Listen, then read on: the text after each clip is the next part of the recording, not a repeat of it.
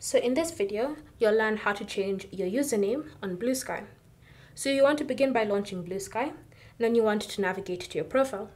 If you're using the app, then you can just tap on this art icon at the bottom left right corner of your screen.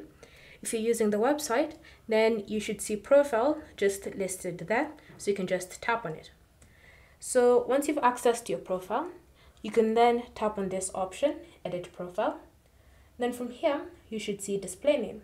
So you'll be given an example of a display name someone would have used.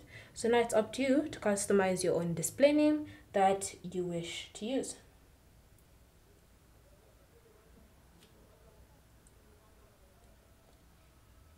And then once you've customized your display name, you want to tap on save and the changes should be applied onto your profile. So just wait a few seconds